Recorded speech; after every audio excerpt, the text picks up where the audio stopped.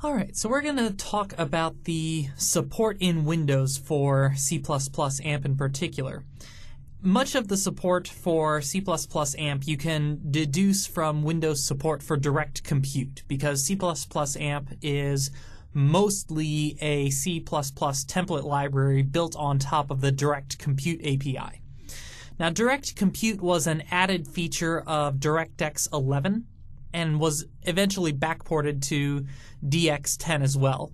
But that means that any version of Windows that supports DX11 or later will be able to support C++ AMP. Now, the reference Direct 3D implementation on the CPU is guaranteed to always be available on Windows systems. So any support in DirectX 10 or DirectX 11, the reference implementation on the CPU will be available. What that means for you as an application developer is that your C++ AMP application will always be valid as long as you can specify what versions of Windows your application is compatible with.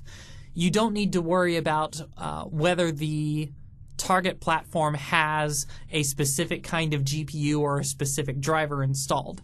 Uh, just by running on a Windows platform, your C++ AMP application should always be valid. However, you also have to remember that the reference implementation is pretty slow. So, depending on uh, what you care about in terms of performance, along with your portability, you may want to consider either having a tighter restriction so that only Windows platforms with uh, better implementation than just the reference implementation are available. Or you might have to consider testing at runtime whether such a device is available, and if not, use some fallback implementation written in a standard C. Windows 8 in particular is the first operating system that always includes the Windows Advanced Rasterization Platform, or WARP. WARP was built as essentially a fallback Direct 3D implementation that was actually usable in production. Uh, this production quality uh, renderer for DirectX still runs on the CPU, but it's intended to be very efficient and relatively high performance there will be some disadvantages to using warp compared to a higher power accelerator especially for rendering and for graphics. There will be things that warp will uh, be able to do less well than a graphics card would. But for c++ amp in particular the warp implementation on windows 8 means that your kernel if it will not run on a gpu actually has a fairly good way of fully utilizing the CPU hardware resources on the system as well. Now let's go ahead and transition into a demo and see how these different uh, implementations are accessible and what they look like in terms of performance. Okay, so let's take a look at the different kinds of accelerators that might be available. Now, in general, if you want the full list of accelerators, you can use the accelerator get all function. On this machine, there are basically only three accelerators that we really care about or uh, need to worry about. The first one is the GPU itself, which if you take the default accelerator on this system is what you will get. And so if we build this and run it, you can see it's taking about a tenth of a second or so to do the blend operation in this example. Now, the two other accelerators available on this system. First, there is the Direct 3D Reference accelerator, which will always be available no matter what system you run on. And so if you build and run there, we'll go ahead and fast forward through this for your benefit. And now you can see why we fast forwarded, because that was about 30 seconds of just sitting here and doing nothing. So here you can see that obviously there is about two orders of magnitude removed from the reference implementation and the GPU accelerated version that we just ran. So functionally, it's portable, but realistically, the reference implementation is primarily there for debugging, not for a realistic fallback if the GPU is not available. Uh, which is why if you only request the default accelerator on the system, even if the GPU is not available, it will not say that the reference implementation is a potential default accelerator uh, because it's probably, unless your application is well aware of what the reference implementation is and what its performance characteristics are, uh, you're better off not being accidentally forced into using it. Now, the other implementation that is available on this system, because we are on a Windows 8 platform, is the Direct 3D Warp implementation. And yes, that is correct.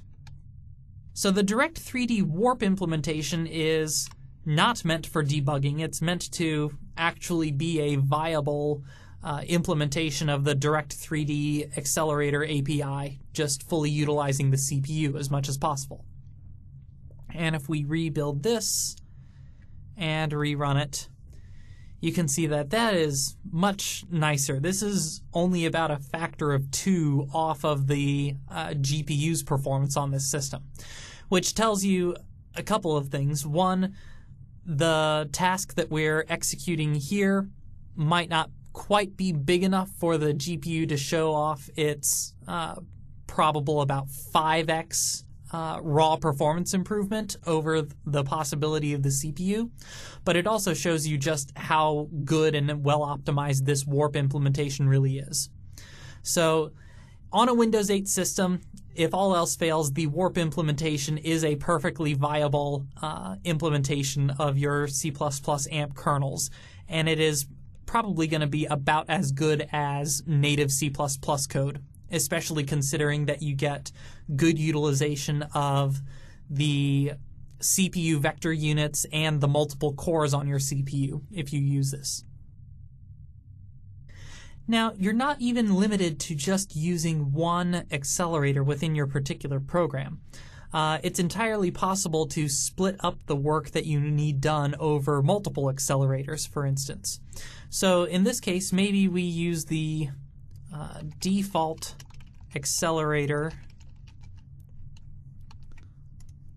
initially.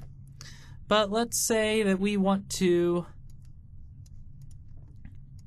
do another level of operation and let's hoist this out of the way. Let's say for some reason in this particular blend operation we had two different versions of blending that we wanted to do in order to store two different results. Uh, we won't actually store two different results, but we'll go ahead and do two different parallel for each kernels.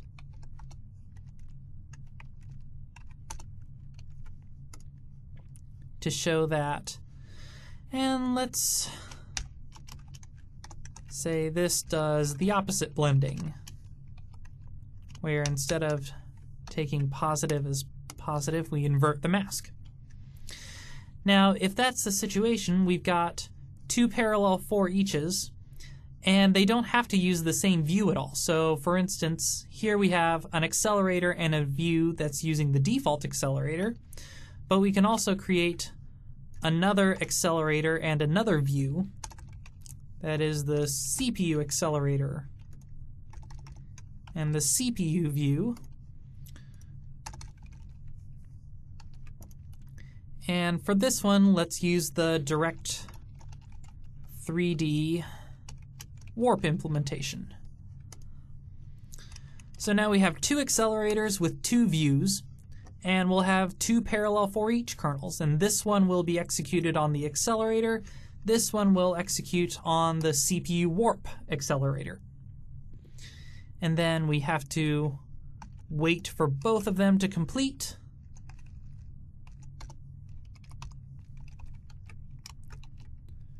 And if we build this and run it, you can see that the blend time, we're doing twice as much work, but it's not taking twice as long as it was on the CPU. There is a little bit of serialization, at least the way I've written it here, because this view and this view are actually the same view. So this is implicitly moving data to the GPU, doing some updates on it, then moving it to the CPU and doing some further updates on it. So these parallel for eaches are serialized, so we're not seeing the benefit of them being overlapped in this particular example. Uh, but you certainly could imagine that. And uh, just to play with it, let's say that we're going to do two independent blends. We're going to do one on the mask only and one on the image only. So the GPU is only accessing the mask, the CPU is only accessing the accelerator. And if we build and run that,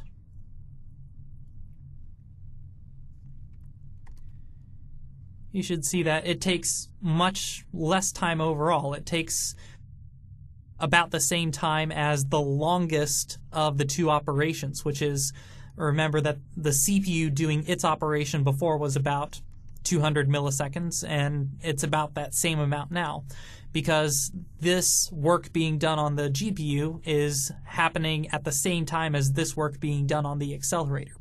So for that time, while both of these kernels are running, we're actually taking full utilization of the system. This uh, kernel using the CPU view on the Direct 3D Warp implementation is fully utilizing all of the cores on our CPU. And this kernel, uh, which is targeting the default accelerator, which happens to be the GPU, is fully utilizing that resource as well.